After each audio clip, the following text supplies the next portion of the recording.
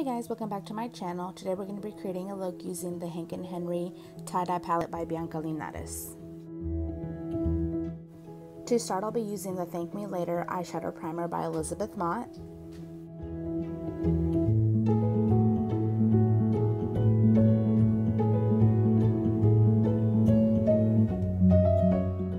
The first shade I'm using is the blue. It's called LA, and I'm going in with the Morphe M513.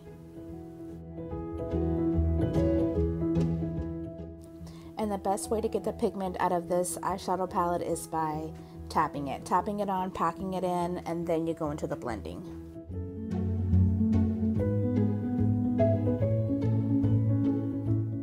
And to lighten that up, I am going in with the shade Coconut, and I'm using the Morphe M562.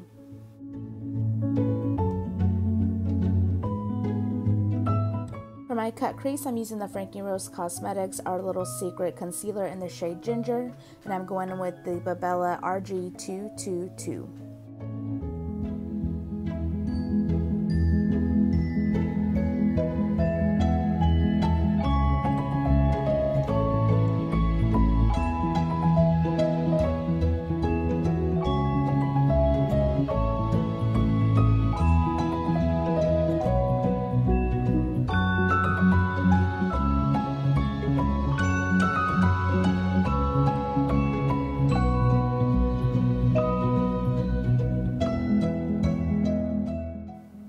Corner, I'm using the purple shade Spooky, and I'm going in with the Morphe M454. Next, I'm going in with the pink shade Pink Punch, and I'm going in with the Morphe M456.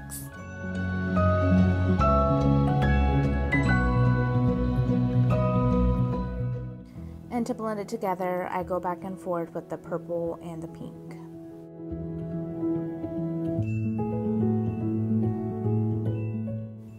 Next, I'm taking the other pink shade Ho, and I'm using the Morphe M519.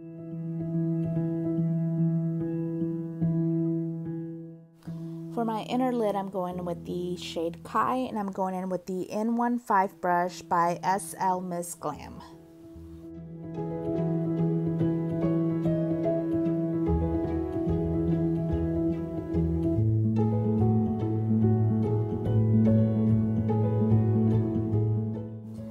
I did go back in with the shade Spooky, just packing in a little more on that outer corner.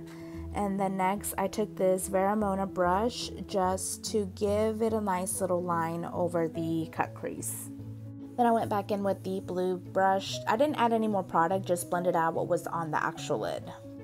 And then taking that same Vera Mona brush, bringing down the blue to do the under eye.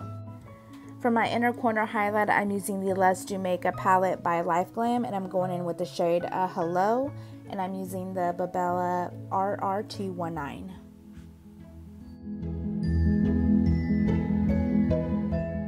For lashes, I'm using the Beauty Creation in the style She Fancy.